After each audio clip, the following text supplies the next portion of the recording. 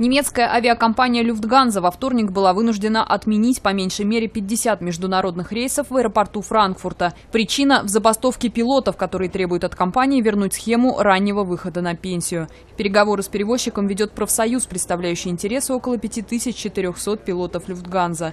Он требует, чтобы летчики могли, как и раньше, выходить на пенсию в 55 лет и при этом ежемесячно получать до 60% от суммы их заработной платы, вплоть до начала действия обычных пенсионных выплат. В этом году это уже пятая забастовка пилотов Люфтганза. Впрочем, несут потери от стачек и другие воздушные перевозчики. Так, недавно две недели не садились за штурвал некоторые пилоты Air France.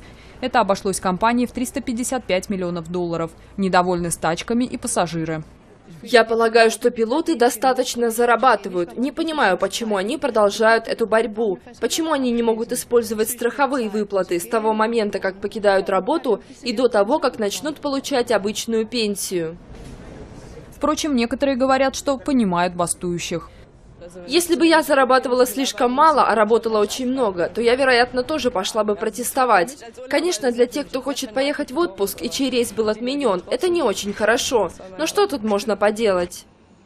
Люфтганза предложила сохранить прежнюю схему только для тех пилотов, которые устроились на работу в компанию до 2014 года. Для остальных возраст раннего выхода на пенсию планируют повысить. Профсоюз, в свою очередь, утверждает, что такое решение является несправедливым по отношению к тем пилотам, которые придут работать в компанию в будущем.